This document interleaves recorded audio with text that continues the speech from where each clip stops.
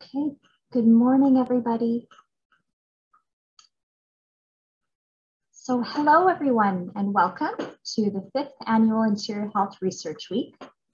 My name is Kim Peek, and I work with the IH Research Department and the BC Support Unit Interior Center as a research navigator and community facilitator. I am deeply grateful to be living, loving, and learning on the traditional and unceded territories of the beautiful Syilx Nation let us take the first few moments to acknowledge all the traditional and unceded territories where we have the honor to be today. And I invite everyone to please share the names of these lands in the chat box. If you do not know the names, please take a moment to explore the link native-land.ca. I will also provide this link in the chat just a few moments. Please share after you've learned. It is truly a great honor to introduce two Syilx Okanagan, sorry, two Syilx, yes, Okanagan Nation knowledge keepers residing in Westbank First Nation that will be providing us with a territory welcome and some opening words. Thank you, Elder Pamela. Uh, the spotlight is yours.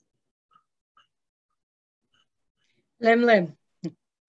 So uh, my name is Pamela Barnes. My ancestral name is Chuchawasket which means the coming of a storm or the coming of change. Um, I just need to um, make apologies for Grouse. He's not um, with me unless he makes it in the door in the next few minutes, but he was called away on another urgent matter. Um, so he may or may not make it, I'm not sure. So we um, we cover for each, for each other on a regular basis. So, um, so it's my honor today to um, welcome you to the traditional territory of the Syilx people. And in doing that, um, I just want to clarify a few things. So thank you for the land acknowledgement. And I just want to start by clarifying the difference between a land acknowledgement and a welcome to our territory. So a land acknowledgement is something that everyone should be doing. And it's a really simple matter of uh, manners in um, recognizing your host. Here in this part of Turtle Island, um, you know, we've never signed treaties. We've never um, sold our lands or gave them away or traded them. And so the reality is that uh, you're guests in our home. And so it's proper protocol and manners to just recognize that. Just like the President of the United States, if he were visiting or she would um, acknowledge Canada as the host. But it wouldn't be appropriate for the President of the United States to welcome others to Canada. That would be the role of the Prime Minister. And so that's the, the role that I'm sitting in today in welcoming you to our traditional territory. So I first really want to impress upon you what our relationship is to our, our lands. So we, we see ourselves as borrowing these lands from the future. These lands are made up of the blood and the bones of our ancestors for thousands and thousands and thousands of years. It's all sacred to us. And we recognize that we are only here but a moment in time. And so we recognize that what we are here protecting um, we have a responsibility to future generations uh, for the land, for the water, and for all living things. And there's a really big difference between that idea and the ideas that newcomers have brought of human ownership of land. So I have this um, hair clip now, if I own this hair clip, it's mine. I can sell it, I can trade it, I can give it away. I can take really good care of it or I can toss it aside. It's mine. I can do what I want with it. But as soon as I borrow this, everything about that relationship changes. I can't sell it. I can't trade it. I can't give it away. It's not mine. There's an expectation that I take the very best care that I possibly can. And that when I leave it or return it, that it's at least in the same condition that I found it in. And if at all possible, better. So it's with this understanding that we first welcomed people to the traditional territory of the Syilx people and about 200 years ago. And it's with this understanding that I welcome you today to the traditional, unceded, and currently occupied territory of the Syilx people. With the urgent reminder that none of us, including ourselves as Syilx people, are doing the very best job possible to take care of this land, this water, and all of the life for all future generations, for all of our children, all of our grandchildren, all of our great grandchildren, and so on and so forth. So, Lim Lim.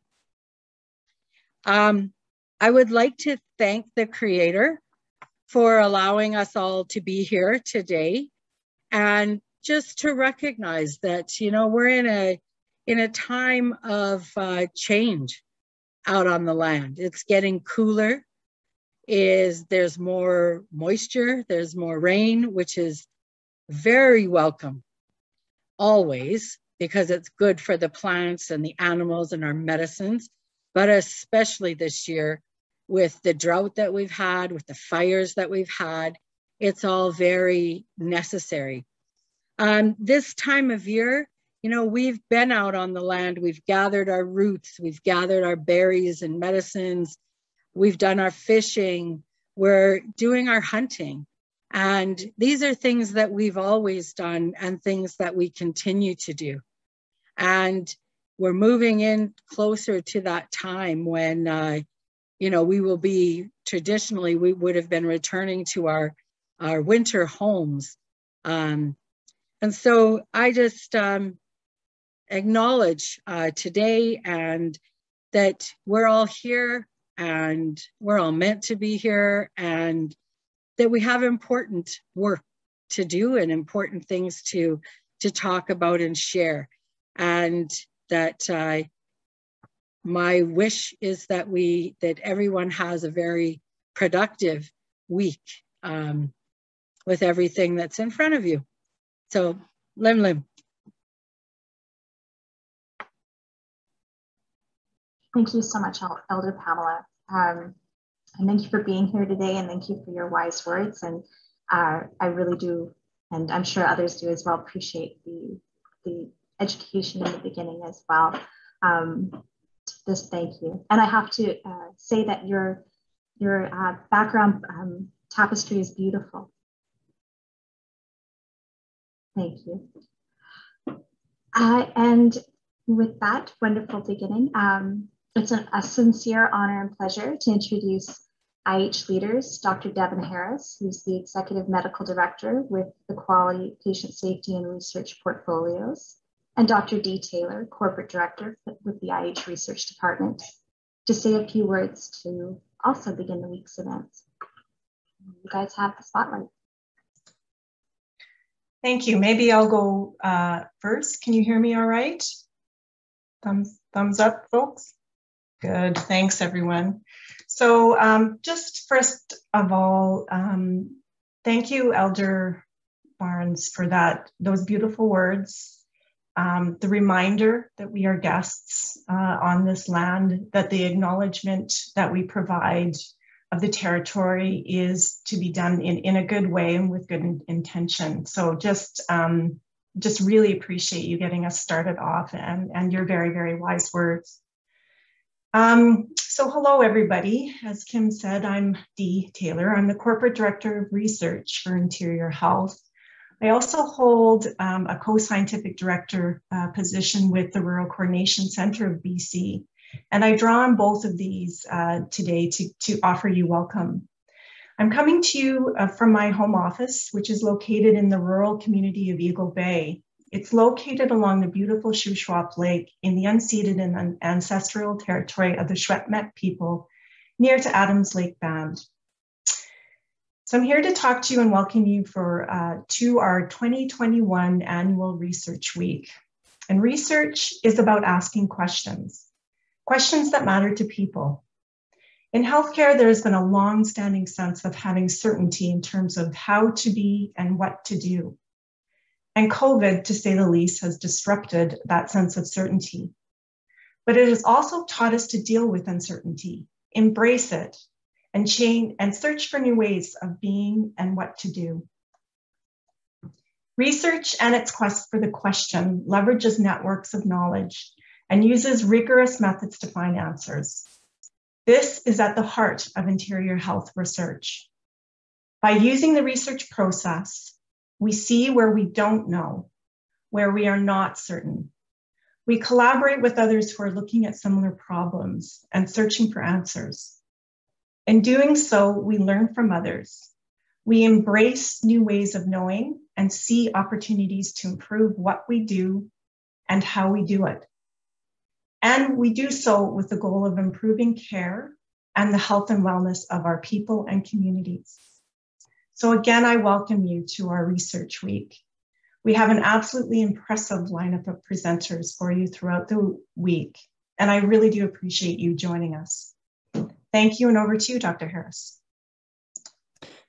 Hey, thanks, um, and thank you, Elder Pamela and um, uh, and Grouse as well, who um, wasn't able to be here. Um, I also want to recognize I come, I'm speaking to you from Okanagan Syilx territory in beautiful Kelowna today, and want to recognize and acknowledge that we're collectively gathered on the traditional ancestral and unceded territories of seven interior region First Nations where we live, learn, collaborate, and work together. And many of you have, have put that down in the chat as well. So thank you. Uh, region is also home to 15 chartered Métis communities, and it's with humility that we continue to strengthen our relationships with First Nations, Métis, and Inuit people within the interior. So thank you. My name is Devin Harris. I'm an emergency physician in Kelowna Hospital. I'm Executive Medical Director, Quality Patient Safety and Research. I'm the uh, chair of the BC Patient Safety Quality Council, and I'm a clinical professor with the Department of Emergency Medicine, um, Faculty of Medicine at UBC. I became interested in research um, when I worked uh, in the Lower Mainland at St. Paul's Hospital, uh, where I felt I wasn't able to provide um, best care for stroke patients who would come through the emergency department in St. Paul's. And so, through a series of uh, work that um, gradually progressed into an interest in stroke research, was um, uh, introduced to a researcher within Toronto who was developing a, a, novel therapy for treatment of stroke that could be administered very early on in the pre-hospital setting. Uh, saw this presented at a conference in Toronto, and um, I and others approached him to say, would it be worthwhile or beneficial to spread this to BC, where we might have an opportunity to apply this or to trial it in BC as well. At the time, I lived in Vancouver, and the trial started there. But when I moved to Kelowna, the question was asked, why not have the trial run in Kelowna or be uh, performed in Kelowna? And when I came here in 2014, that was an impossibility. Uh, there wasn't the infrastructure to support it. Uh, there wasn't the ability to do so, and we didn't have the significant number of VUE people who were around to be able to support a trial such as that. Fast forward to 2021, uh, the Frontier clinical trial, a neuroprotectant trial, uh, is the fastest enrolling site of any of the sites within uh, British Columbia for enrolling people. And the byproduct of research, as what Dee alluded to, was the vision in which this was originally thought to bring to BC. With this, it trained paramedics in the understanding and recognition of stroke. And so the impact was much further and far reaching than the administration of a, a potential therapy in a clinical trial setting. The education that went into that, the training, the awareness, uh, the training that then went into the transport physician's understanding has had much larger impact on overall stroke care than research by itself. And that really is where and how we're thinking about research as the um, catalyst for change and one in which we can provide a significant impact for the healthcare system overall uh, by investigating what we do and all of the um, fantastic side effects uh, and impact that comes with the development of research infrastructure. When I moved in 2014 here, there was um, limited research department, very limited clinical trial support.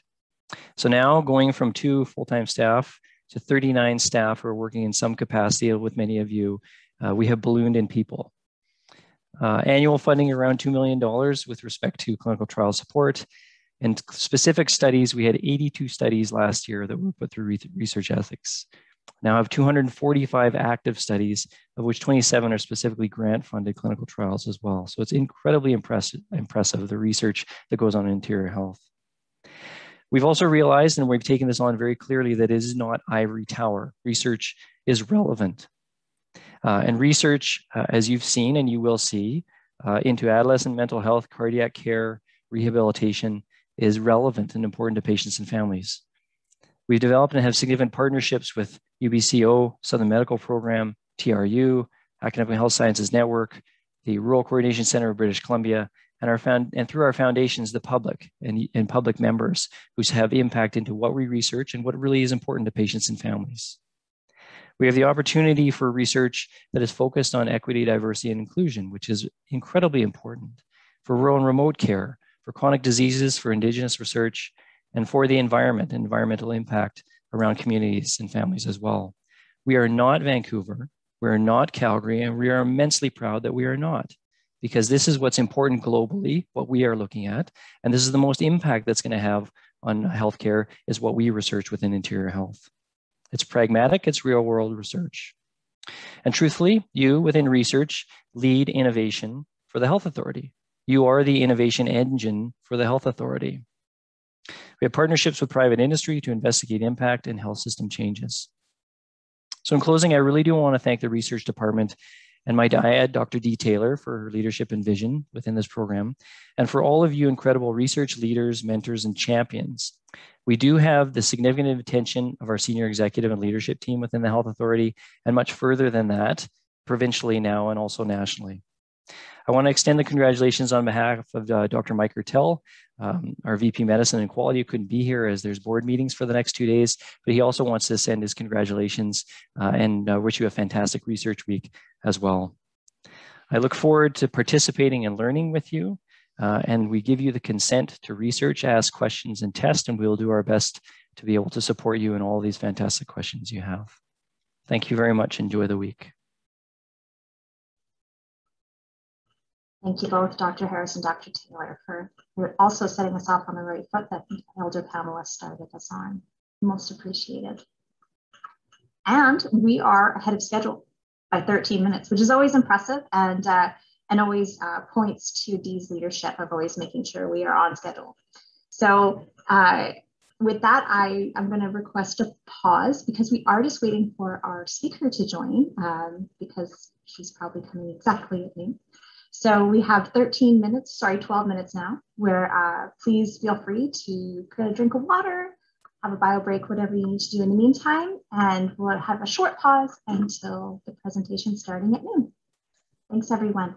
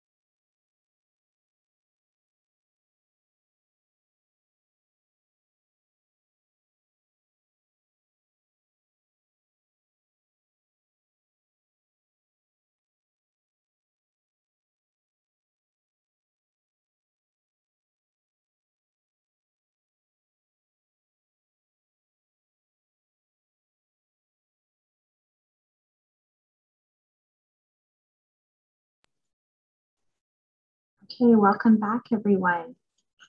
Thank you for that uh, minor intermission. So a few housekeeping, so welcome to those that have just joined to IH Research Week 2021. Uh, my name is Kim Peak and I work with both the IH Research Department and the BC Support Unit Interior Centre. I'm deeply grateful to be living, loving, and learning on the traditional and unceded territories of the beautiful Syilx Nation. If you haven't already done so, please take a moment to write in the chat where you have the honor to be located today. And if you're not sure which lands you reside on or are on today, please go to native-land.ca. The link is at the very top of the attendee chat, and you can share after you've learned. Uh, the, a few housekeeping items is please note that the chat box will be disabled throughout the presentation.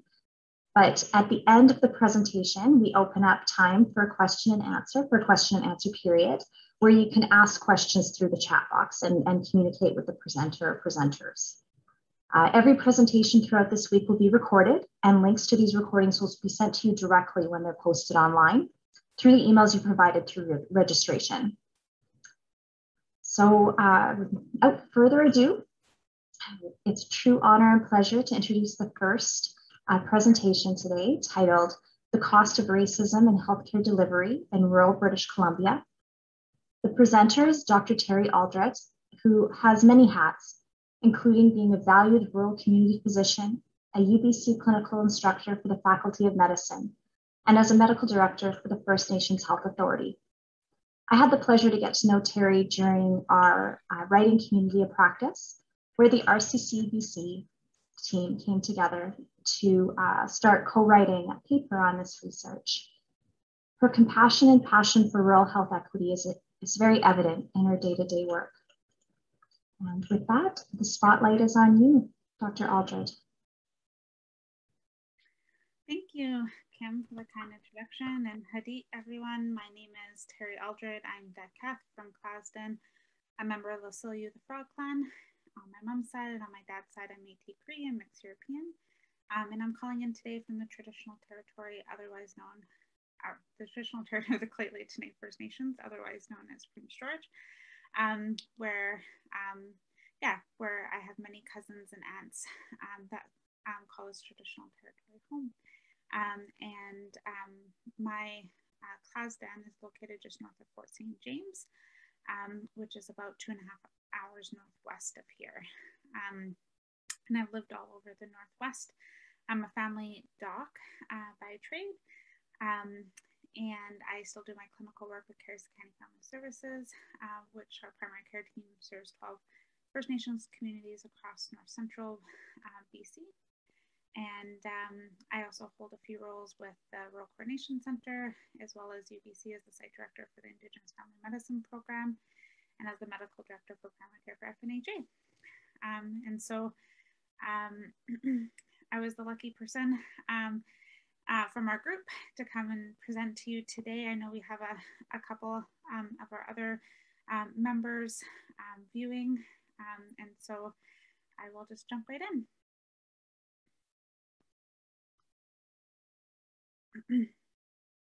Hopefully, I can get all those things to work.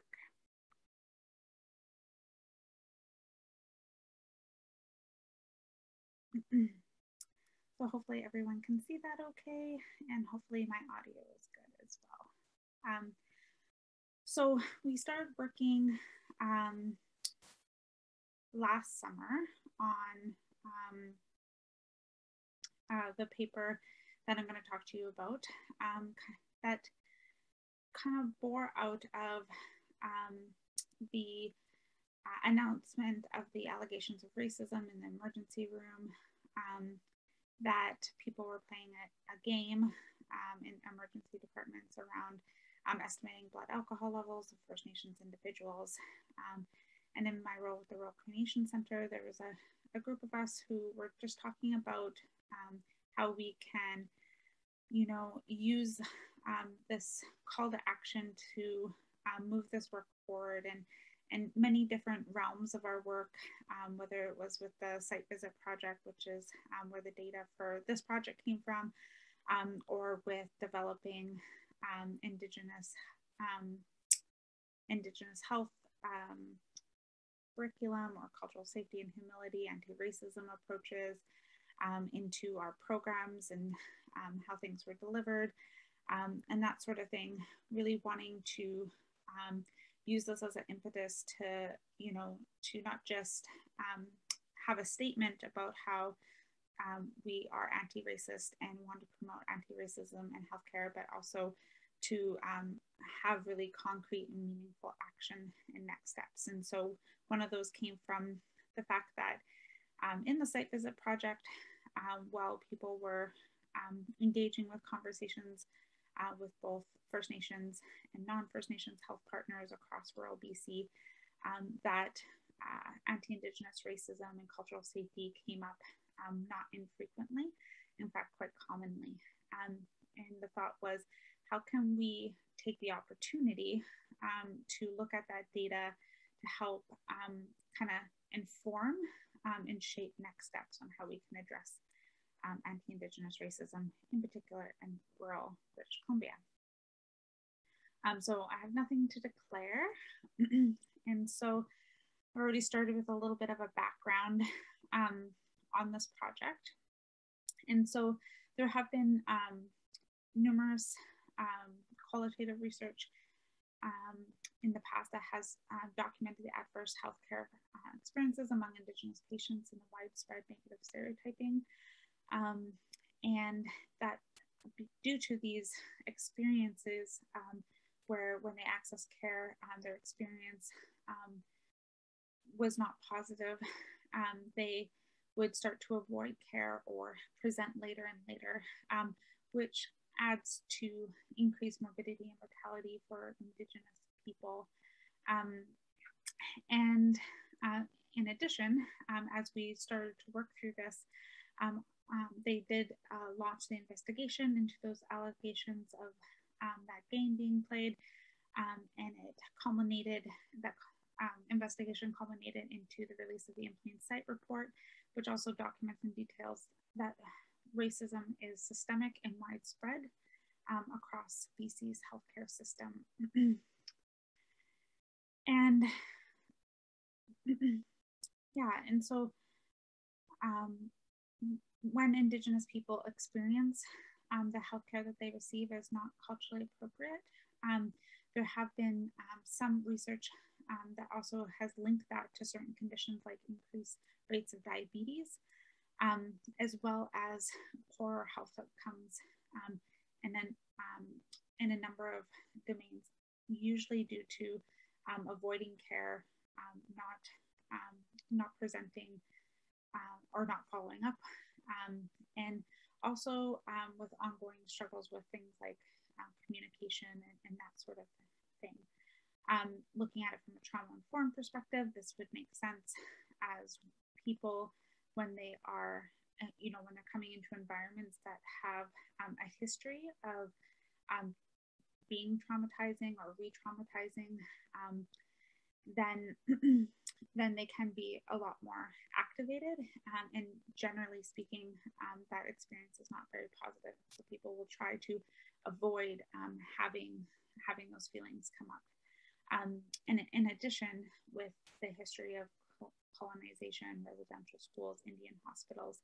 Um, oftentimes, these um, these aversions to accessing care, um, you know, are are multi generational. And so, our purpose, um, our aims, was to examine the experiences of anti-Indigenous racism across rural BC using data derived from the site visit project um, to help contribute to the body of lit literature documenting anti-Indigenous racism. Uh, in general, um, there, there isn't like um, data around racism uh, in particular, uh, like in healthcare is not, there's not a lot of it. Um, oftentimes in my other work, either uh, preparing for um, developing curriculum or lectures or things like that. I've done and been involved in a number of um, literature reviews, and oftentimes we need to borrow from uh, uh, research in, uh, published in the United States, Australia, New Zealand, um, as there isn't a lot, especially in Canada. Um, and even then, um, there's not a lot that's um, specific to anti-Indigenous racism. And there's a number of reasons for that um, that that I could get more into. But to summarize, like, uh, racism historically hasn't been a very popular topic to research, so it's hard to get funding grants and different things um, to look into racism. Um, and then even if they do, it's actually really hard to publish on racism. Um, and it's really hard in general to um, design um, research studies and, um, and different things um, around racism and health outcomes um, just due to the, yeah, just due to the number of variables involved. and so they, so there was a number of people through the Rural Coordination Center who are site visit um, site visitors, so people who go in and lead um, the discussions in different rural communities. Um, that was funded by the Joint Standing Committee on Rural Issues. Um, and the purpose of these site visit project was to engage rural communities to get better insight into healthcare across rural BC. And while this project was not initially intended to focus on cultural safety and racism, um, the analysis of the data clearly revealed that this would be a prominent theme. Um, and due to um, the allegations of racism and the in plain sight report, we thought it was timely for us to um, look at the data more closely um, and to present it in a more timely manner. Um, right now, the site visit project I think is just over halfway completed, and so certainly more data around this will likely emerge as the project continues. and so we thought that this was important because we wanted to highlight that racism has a serious and very real negative impact on patient care. and we wanted to invite healthcare providers to reflect upon this impact and to work towards um, building, working towards their own cultural safety and, humility journey and making concrete steps towards reconciliation. So the RCC site visit project uses a motivated methodology with an appreciative approach. Um, and through our analysis, um, we wanted to incorporate as much Indigenous methodologies into the paper as possible. Um, and so that included inviting an elder to help co-write um, the paper, um, Dr. Cheryl Switzer. Um, and that was important for us to locate ourselves in the work um, and to understand how our worldviews will shape how we um, work with the data and analyze and, and the ultimate the outcome. Um, and uh, also that we wanted to engage with um, an external Indigenous review panel of um, Indigenous physicians, um, students, residents, um, and scholars to have a view of our paper uh, draft form, um, and in particular to ensure first and foremost that um, taking approach with not bringing harm and not perpetuating negative stereotypes and that sort of thing. and and then also just to provide feedback on you know the pertinent points that we can potentially pull out or make bigger in various ways, and then things that maybe were less impactful. and so and so we uh, did that through having a sharing circle with a group we were able to meet, um, you know, together virtually, of course, with pandemic. Um, and then there was a few who couldn't attend, and so provided um, written feedback, connected one-on-one. Um, and um, so with this, um, we also uh, reviewed and followed up with the, with ethics of the paper um, in that, you know, ensuring that um, our current ethics process um, approval did cover um, uh, publishing um, this data and that, you know, currently with our, our current consent process that the site visit leads um, collect when they go into communities would cover it. However, to be more explicit, um, it was um, it was, the process was improved by making it explicit um, to say that um, this data could be used um, to publish papers. Um, and so um, through through the site visit project, we um, have um, approval. Um, and um, all the data, um, you know, after the consent process, all the data um, that we collect from the communities actually goes back to um, those provided it, including First Nations communities.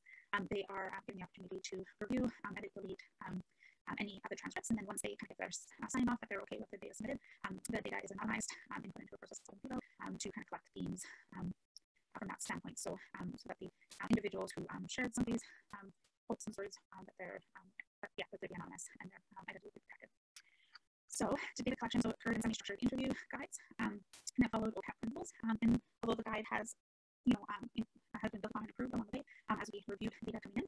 Um, and so now the, the semi-structured interview guide um, initially have questions, um, as previously mentioned, related to safety anti-racism. Um, now does uh, guide, um, guide discussions and help give um, much needed space to talk about this, uh, these topics. Uh, and so far there's 382 interviews so far across 170 RSA communities. Um, and um, as I mentioned, um, we use a process with NVivo um, to help with the analysis um, of, of, the data we know. Um, reports are, um, are released to all the community partners on a regular basis, and there's also a full full report of the SP project methods published, so refer to, refer to that reference if you'd like to know more about the visit project with the results, so we essentially through NVivo, we uh, we used yeah, like searching for themes around cultural safety, humility, anti-racism, um, indigenous health, um, and that sort of thing to kind of pull out um, the site visit um, interviews that included um, discussions around those topics. Um, and then some collaborative work through the community um, uh, through uh, an iterative process where we met with discuss, you know, things that were coming up for us, like pertinent quotes or pertinent themes. Um, and then um, as we were kind of documenting that um, into, um, we kind of were able to clump and kind of distill um, some of the, the pertinent um, data that we were seeing into these three distinct themes.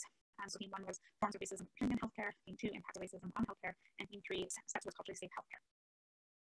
Uh, so theme one, forms of racism in healthcare. So I'm going to take the time to actually read these quotes. Um, just um, I think um, one, another kind of way that we wanted to honor Indigenous methodologies is that we didn't want to edit um, quotes um, from their original words um, too much. We wanted them to speak for themselves. Um, and so I think it's important to read those words and just have a pause to just see how they land. Uh, and so we broke down scheme one into data that related to systemic racism, epistemic racism, and interpersonal racism um, under systemic racism, uh, what keeps me up at night too is the racism people suffer. I mean, the residential school for the region was right here. And so that is on the surface still and a very real experience for people that I still think we're not doing a great job of caring for. There's just so much trauma that falls from that. And then at people suffer here when they wouldn't suffer if they had easier access to healthcare. And a lot of people tell me I'd rather stay home and suffer and, you know, die uncomfortably here. And that was one of our Indigenous community um, partner meetings. I think the pause is important. Again, just to register how that lands, um, what you know, things to reflect emotions it stirs, what kind of thoughts come up um, that quote. Academic racism. Our settler population don't really appreciate the history because they're they've only been given it from one form. So we have been taught history in a certain way that is the perspective of the people who wrote the books, who are also settlers. We don't get a lot of you know indigenous historical material to reflect on to get the other perspective of the same events. And so you know you've got a lot of potential for education there for sure.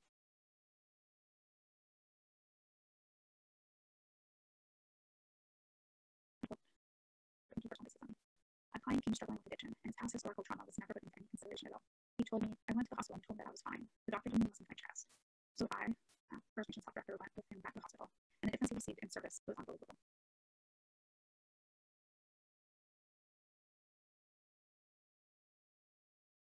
And so, um, oftentimes when we think of racism, a lot of what people think of is um, overt interpersonal racism, name calling, or um, even being physically violent towards somebody based on um, based on their race.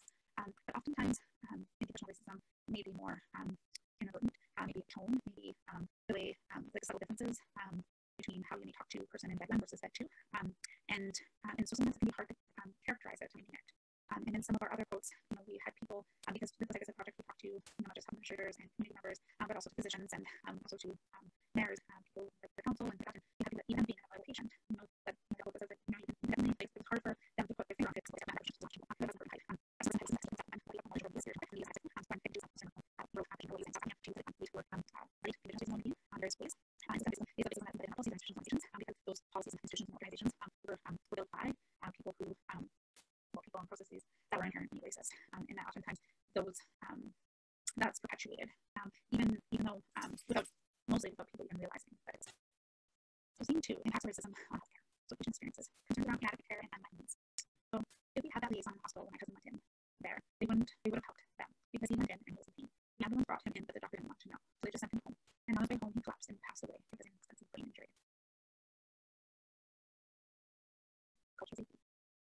experience, someone was passing away at the hospital, and the nurses kicked everyone out and told them to go somewhere else. The family members, when it comes to First Nations people, everyone, everybody gathers. You can't shoo them away. It's their family. It's their loved ones. Impact on patient care. Trust Trusting care. So all these horrible experiences happen, and it's like my community. Now you hesitate. Are they even going to take me seriously? Do I have to wait until I'm half dead before they'll see me? Or, you know? Access to care. Many people have felt very discriminated against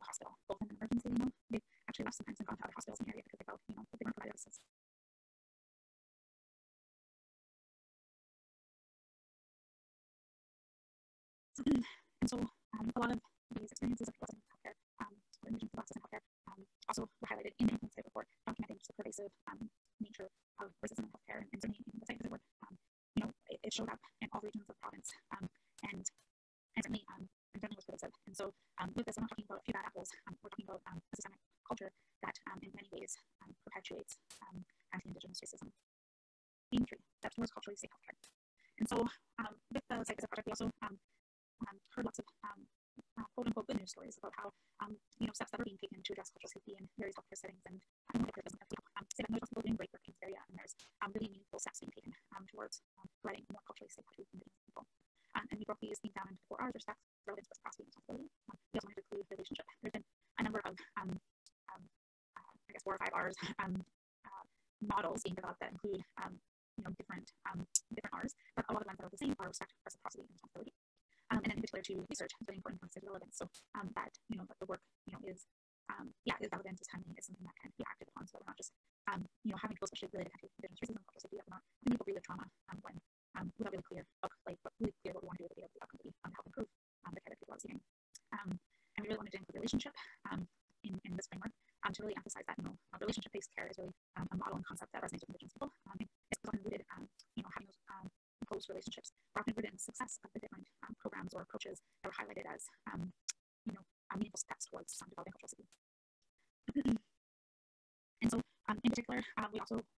clarify, you know, addressing cultural safety and humility and indigenous racism, racism isn't, um, isn't the responsibility of indigenous people. Um, that really does take all of us, um, and working together and having indigenous voices and perspectives is absolutely vital. Um, but um, by centering indigenous people um, as, as a, in this work, um, in the way that they need to drive or they need to own it, um, can often shift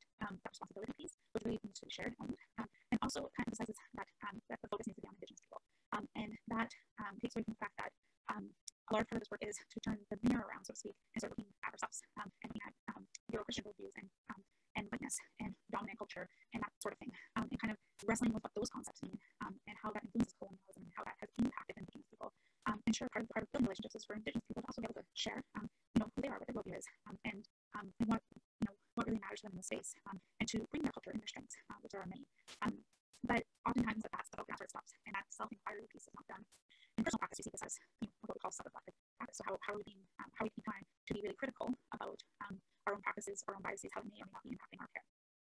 And so that's we have five R's written out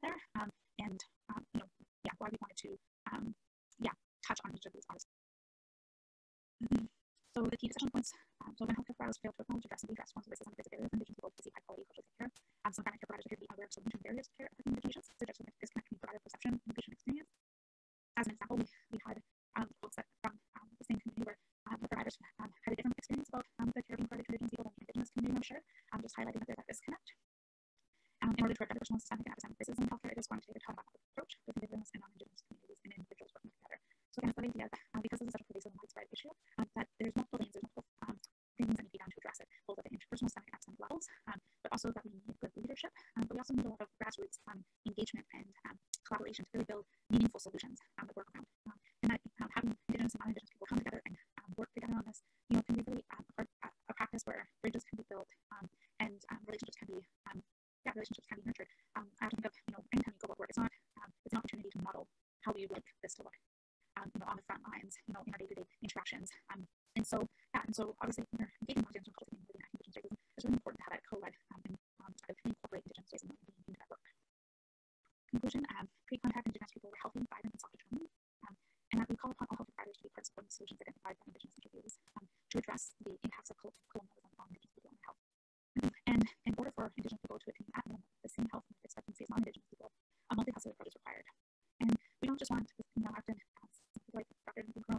also when we're just, you know, constantly just trying to meet, um, you know, meet baseline standard, then oftentimes that becomes an exhausting relay race because the benchmark always changes. So really